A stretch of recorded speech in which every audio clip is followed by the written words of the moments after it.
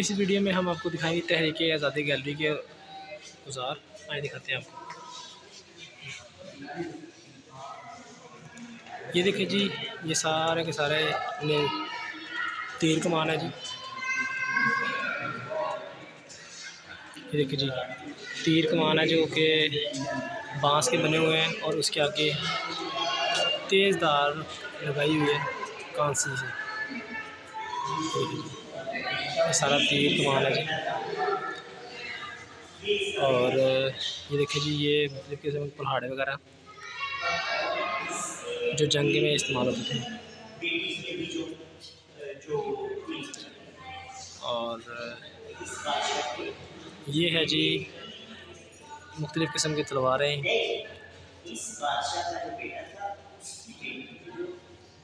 ये देखिए जी ये जी। ये मुख्तलिफ़ किस्म की तलवारें हैं जी। खंजर वगैरह।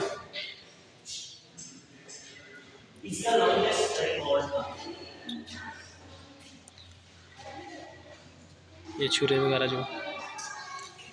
ये लिबास है जी, जंग के दौरान डाल के जंग करते थे। ये देखिए मुख्तु किस्म के डिज़ाइन में। ये देखिए जी, ये भी लिबास है, लोहे का बना हुआ है। और ये बाजू वगैरह पे चढ़ा के ये फ्रंट पे और ये अपनी सेफ्टी के लिए, ये मुख्तु किस्म की तलवारें हैं।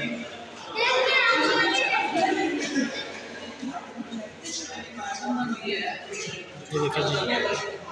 ये देखिए रिंग आ गया जी, और साथ में नेज़े आ गए। हैं बहुत बड़े बड़े नेज़े थे जी। ये देखिए जी, यहाँ पे भी तलवारें हैं और नेज़े हैं। काफ़ी बड़े बड़े नेज़े, नोकदार। और ये बंदूकें वगैरह जो पहले ज़माने में इस्तेमाल की गई।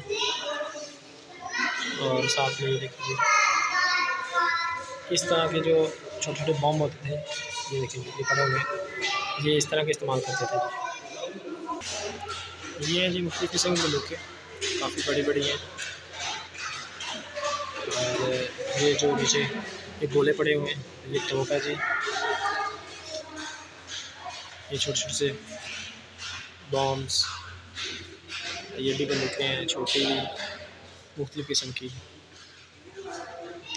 ये देखिए जी। ये वो चाकू है जो बंदूक के आगे लगती है। ये जो छोटे छोटे चाकू जो स्पाई लोग अपने पास रखते थे, और ये मुख्तलिफ़ किस्म के पिस्तौल पड़े हुए हैं जी, जो ऑफिसर होते थे, जिनके पास होते थे। बड़ी गन के अलावा छोटे छोटे अपने पास रखते थे। और ये वो ड्रम है जी, जब जंग के टाइम वो बजाते थे वो सबको इकट्ठा करने के लिए। और ये फौज को इकट्ठा करने के लिए जिस तरह बाजा वगैरह होता है, ये वो चीज़ है जी। ये भी बंदूकें हैं जी, ये मुख्तलिफ़ डिज़ाइन में। ये बरतानिया की है जी। बरतानिया के दौर की जो बंदूकें हैं, ऐसे होती थी। ये देखिए जी। फिर इस तरह का लिबास इस्तेमाल किया गया और ये नीचे शेल पड़े हुए जी खोल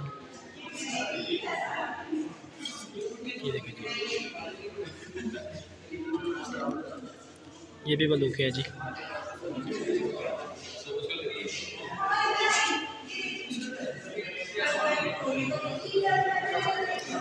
ये देखिए जी।